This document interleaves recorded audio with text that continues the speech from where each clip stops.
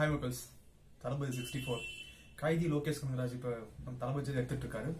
படத்தோட ஷூட்டிங் வந்து விஜய் சேதுபதி நிறைய ஆக்டர்ஸ் வச்சு நிறைய ஹீரோ ஹீரோயின்ஸ் பிரபலமான சேர்த்தி எடுத்துட்டு இருக்காங்க. இப்போ வந்து தளபதி சிக்ஸ்டி ஃபோர் அப்டேட்னு பாத்தீங்கன்னா இப்போ பெங்களூர்ல எடுத்துட்டு இருக்காங்க. ஒரு ஜெயில வச்சு தளபதி சிக்ஸ்டி ஃபோரோட அப்டேட்ஸ்ல போயிட்டு இருக்கு.